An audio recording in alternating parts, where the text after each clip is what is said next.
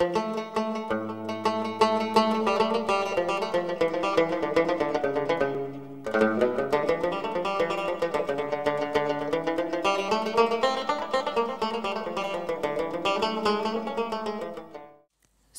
found the theme tribes and trolls very interesting because not only can you interpret it in your own way, but you can also see them in different point of views.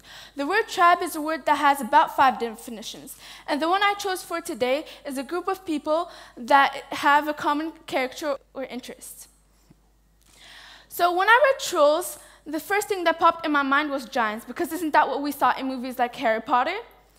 But then when I did my research, I found out that tribe can also be a betrayer or an enemy.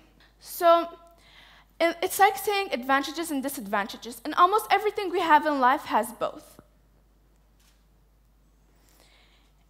And I define the word troll as a barrier. We all have something or someone that I call a barrier to success.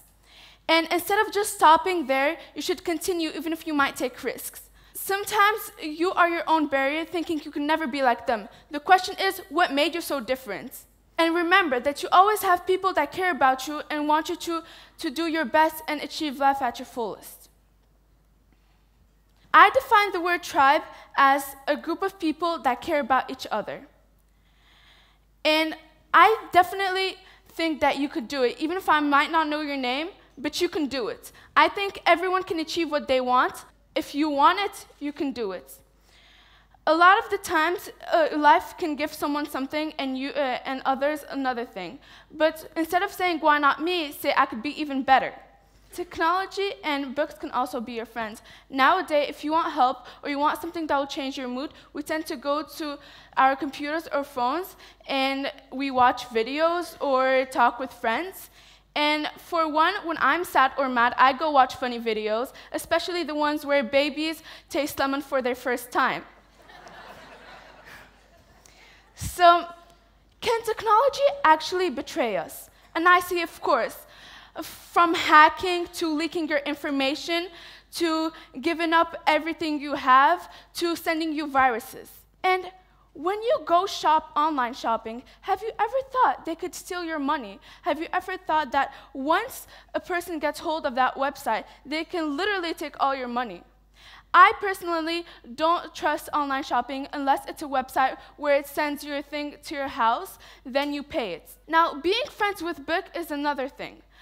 When I read books, I see myself as a person, as a character in the book where all I do is watch what is happening.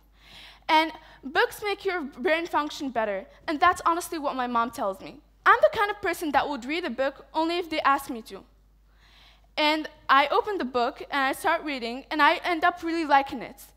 But just the fact of opening a book in my free time and starting to read it makes me so lazy. So I tend to go watch other videos.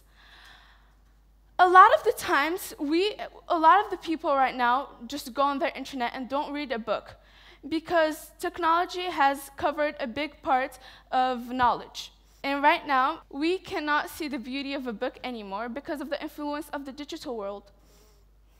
So, can a book actually betray you? And I say, of course, if you were wanting it to, if the plot changed and you wanted the book to be in another way.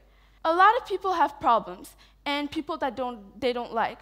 But you should continue even if you know that there's this problem in your life. I take peer counseling class, and what I do is that I talk to people and help figure out what they have in their life. And what I learned is that each problem you have should be at least, and by talking it out and just talking it out in the beginning, you feel less pressure. And you should say it to a person that cares about you and, and wants you to succeed. And if you get help, maybe your problem will be solved. I also learned in peer counseling class that there are only nine personalities in this whole world. And it is proved by each religion. I've learned that knowing your personality and knowing other people's personality makes it way easier for you to communicate with other people. And by knowing your personality, you pass the Enneagram test. And I learned that the world is not perfect, but what makes us perfect is our imperfections. And I say, I am perfect in my imperfections, secure in my insecurities, happy in my pain, strong in my weakness, and beautiful in my own way. I am me, and you should be you.